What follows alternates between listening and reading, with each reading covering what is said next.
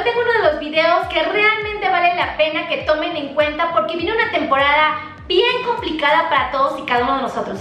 Viene una temporada navideña donde comúnmente nos reunimos con nuestros familiares y amigos para hacer cenas que frecuentemente están llenas de alimentos muy ricos, muy deliciosos, pero también llenos de calorías, que contienen grandes cantidades de azúcar, grandes cantidades de sal, contienen pasta y por supuesto grasa. Entonces tenemos que ser muy responsables porque estos niveles de azúcar podrían elevarse y evidentemente perjudicar nuestros niveles de azúcar. Durante el video te voy a dar 8 maravillosos tips para que tomes buenas decisiones y puedas preservar tus niveles. El primer tip que te voy a sugerir es que por favor planifiques tu cena navideña. Necesito que tú sepas exactamente qué vas a cenar para que no te espantes a la hora de que llegas al evento y te topas con que no hay nada en la mesa. Planifica tu cena navideña y eso te va a ayudar a tomar buenas decisiones porque en los siguientes tips te voy a explicar cómo. Segundo tip, identifica de los alimentos que van a estar en tu cena cuáles tienen grandes cantidades de azúcar o carbohidratos para que estos sean los últimos a elegir de la gama. Evidentemente esto te puede ayudar a que tomes buenas decisiones y tus niveles de azúcar no se eleven.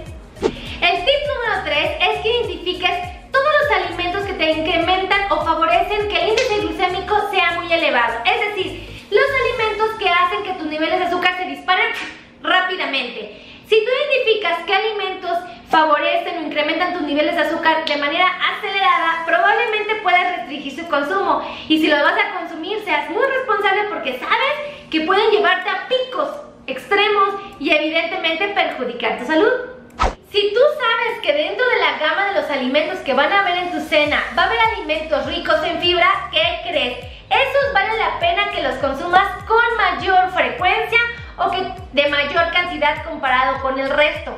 Asegúrate que estos alimentos ricos en fibra te puedan favorecer para que tus niveles de azúcar se mantengan controlados a pesar del pecado de estar comiendo una cena navideña muy sabrosa. Número 5. Ajusta tus niveles de insulina. Es decir, si ya sabes que vas a consumir ciertos alimentos que pueden perjudicar tus niveles, asegúrate que las unidades que están aplicando corresponden a la cantidad de alimento que estás consumiendo para que de esta manera mantengas constantemente tus niveles de azúcar. Si no sabes cómo, te voy a invitar a que siempre camines de la mano de un médico internista, un integrista, de un médico endocrinólogo, de un médico educador en diabetes, de un buen nutriólogo, de un gerontólogo o de un geriatra, pero todos aquellos médicos o trabajadores de la salud que se encuentren relacionados los niveles de azúcar para que te ayuden a cuantificar las unidades no solamente el 24 de diciembre o en la Navidad, sino que el resto de la temporada esté súper bien controlado. Tip número 6.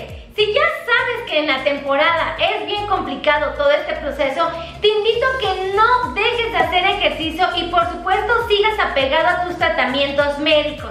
No abandones tus pastillas, no abandones tu tratamiento con insulina no abandones tu dieta. El resto de la temporada pórtate bien porque ese día probablemente te cueste trabajo seguir lineamientos o cuidados. Así es que si tú conservas la línea toda la temporada, ese pequeño pecado no va a repercutir de la manera en que todos estaríamos angustiados. El tip número 7 consiste en que si ya sabes que ese día frecuentemente eh, la familia lleva bebidas azucaradas, Frecuentemente llevan cervezas o llevan refrescos o llevan jugos, llevan vinos. Por supuesto te voy a invitar a que tú lleves una bebida que no contenga azúcar para que la puedas usar en la fiesta y puedas estar tomando líquidos sin sentirte abrumado porque estás consumiendo grandes cantidades de azúcar en las bebidas. Así es que puedes llevar un agua tal vez de limón con chía, con pepino, de jamaica con limón y chía, no cantidades adecuadas para que puedas compartir con tu familia y te sientas formando parte de la fiesta aunque no estés consumiendo bebidas azucaradas. Y el tip número 8 que estoy segura que te va a encantar. Este tip consiste en que te lleves un topper con verduras verdes o bien una taza con avena endulzada con un sustituto de azúcar y con una frutita, tal vez una manzana, una fresita, muy chiquitita que la piques ahí y la introduzcas en tu taza con em, avena, por ejemplo, ajá. Y por importante es que consumas este topper de verduras verdes o esta taza con avena 30 minutos antes de empezar a cenar. Si ya sabes que la cena se programó a las 11 y media de la noche, pues evidentemente en lo que estás charlando, platicando con la familia, echando chisme, eh, no sé, echando cotorreo, te empiezas a comer ese topper de verduras verdes bien de esa taza de avena. Porque, ¿qué creen? Si ustedes lo hacen 30 minutos de empezar a cenar, es muy probable que cuando llegue la hora de servirse ese rico plato de ensaladas, de, ensalada navideña, de pavo, de romeritos, de, no sé, purés, um, espaguetis, todo eso delicioso, es muy probable que tu ambición sea menor y la cantidad de comida que te sirvas en este plato va a estar mucho más reducida que si no tuvieras comido la avena o el, topper de verduras verdes. ¿Por qué? Porque tu, intestino, tu estómago, tu lengua van a empezar a mandar señales desde el primer bocado que comas el topper de verduras verdes o el de avena a tu cerebro.